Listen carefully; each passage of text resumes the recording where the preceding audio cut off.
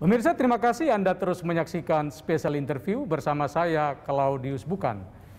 Natal di tengah pandemi COVID-19 tentu membawa pengalaman batin serta sekaligus ujian bagi kedewasaan iman umat Kristiani.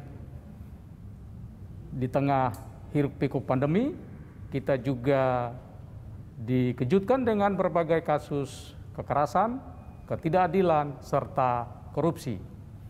Bagaimana umat Kristiani merayakan Natal dengan makna yang berbeda kali ini, serta bagaimana umat Kristiani menyikapi berbagai persoalan bangsa, sekaligus memberikan kontribusi sesuai dengan perannya masing-masing. Saya ajak Anda berbincang-bincang dengan Ketua Umum PGI, Pendeta Gomar Gultom. Pak Pendeta, terima kasih banyak atas kesempatannya. Terima kasih Pak Claudia. Ya. Ya. Kehormatan bagi kami Pak Pendeta bisa meluangkan waktu. Ya, terima kasih bisa bersama-sama dengan Bapak dan menyapa pemirsa eh, pencinta berita satu yang saya kasih. Pak Pendeta ini sebelum kita bicara eh, lebih lanjut, saya ingin sedikit eh, tahu Pende- Pak Pendeta ini sudah berapa tahun menjadi pelayan Tuhan? Oh, tapi ini jaga jarak kita cukup ya, boleh Ya, saya buka bisa, ya? Bisa dibuka ya. Ya, saya sudah menjadi pendeta sejak tahun eh, 86, artinya itu sudah 34 tahun. 34 tahun sudah saya menjadi pendeta di gereja HKBP. Nah, apa yang mendorong Pak Gultom ini dulu memutuskan untuk menjadi pendeta? Tentu ada pertimbangan tertentu nih. ini perjalanan yang panjang ini. Ya memang sejak uh, masa mahasiswa saya sudah aktif dalam kegiatan gereja melayani pemuda dan khususnya anak-anak sekolah minggu. Dan atas dasar itu saya ingin memperdalam ilmu dan saya masuk sekolah tinggi teologi, masuk seminari teologi. Dan tentu saja karena dimasuk seminari kelanjutannya Kemudian menjadi pendeta, demikian. Itu dulu pergerakan lalu jalurnya milik jalur teologis ini tentu ada pengalaman batin atau ada yang mendorong gitu. Ya pengalaman batinnya lebih karena memang saya hidup dalam lingkungan gereja sejak kecil.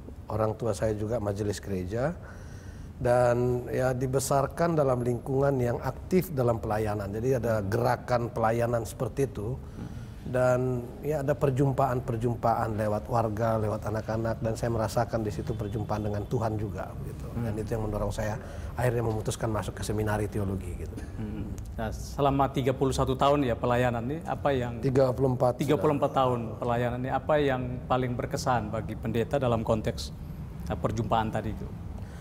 Eh, yang paling saya rasakan adalah bagaimana membawa suasana perjumpaan umat dengan Tuhan itu bisa terwujud dalam perjumpaan dengan realitas sosial. Cukup menggejala dalam kehidupan berjemaat, hubungan dengan Tuhan itu seolah lepas dari konteks permasalahan hidup gitu. Jadi eh, rajin beribadah, rajin mengumpulkan persembahan, korupsi jalan terus misalnya. Jadi eh, hubungan dengan Tuhan tidak berelasi langsung dengan tanggung jawab sosial. Jadi kesalehan personal sangat kuat, tapi kesalehan sosial sangat minim. Dan ini menarik sekali buat saya dalam pergumulan selama 34 tahun ini bagaimana mempertemukan kesalehan sosial itu juga sama pentingnya dengan kesalehan personal. Sehingga hubungan dengan Tuhan juga harus terrealisasi dalam tanggung jawab sosial ekonomi dan politik. Dan itu yang Pak kalau dia tadi katakan suasana Natal sekarang. Natal itu kan sebetulnya sebuah peristiwa Allah yang Maha Agung mengambil rupa manusia. Jadi eh, ada sapaan terhadap konteks budaya manusia atau budaya sosial politik ekonomi dan sebagainya. Allah menjadi manusia. Artinya hubungan dengan Allah itu adalah hubungan antar sesama manusia juga. Gitu. Jadi dari penjelasan Pak Pendeta tadi saya bisa menyimpulkan bahwa selama ini memang ada kesan bahwa orang berelasi dengan Tuhan itu lebih sifatnya ritual ya Pak Pendeta Betul. ya. Antara lain ritual. Jadi lebih ke kepuasan pribadi ekspresi pribadi kepada Tuhan, bersyukur, memuji Tuhan, memohon berkat Tuhan, berdoa dan sebagainya. Itu yang banyak terjadi di kita. Jadi rumah ibadah penuh, doa sangat membahana, lagu pujian juga begitu gegap gempita gitu.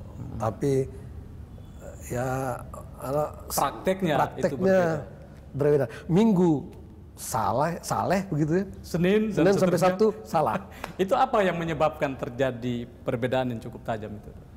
Ya pola bisa terjadi pola pendidikan ya yang tidak praksis gitu ya antara aksi dan refleksi tidak ada gitu. Jadi di satu sisi beribadah, di sisi lain berkegiatan gitu.